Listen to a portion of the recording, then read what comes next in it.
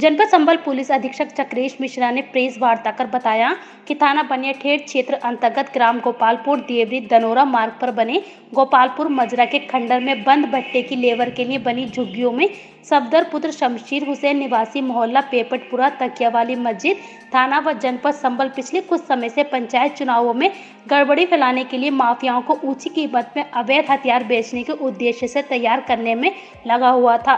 थाना बनिया ठेर एसओ रविंद्र सिंह को मुखबिर से मिली सूचना के आधार पर पुलिस अधीक्षक चक्रेश मिश्रा ने अपर पुलिस अधीक्षक आलोक कुमार जायसवाल के निर्देशन में एक टीम का गठन कर तत्काल प्रभाव से छापेमारी की, जिसमें उक्त स्थल पर पकड़े गए अभियुक्तों से घटनास्थल पर दो बंदूक बनी अर्ध बनी चौदह तमंचे बने, अर्ध बने सात कारतूस, व चार खोखे बरामद हुए, तथा हथियारों को बनाने हेतु बड़ी मात्रा में औज़ार भी बरामद किए गए। अभियुक्तों से बरामद हथियारों व उन्हें तैयार करने वाले औजारों को सील कर आर्म एक्ट के तहत जेल भेजा गया है। संबल पुलिस द्वारा एक बड़ी कार्रवाई करते हुए बनिया ठेर पुलिस के द्वारा एक अवैध शस्त्र फैक्ट्री का भंडाफोड़ किया गया है।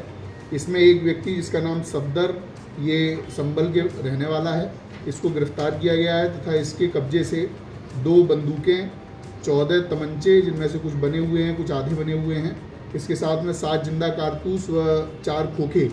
इसके साथ में शस्त्र बनाने का बहुत सारा सामान बरामद किया गया है।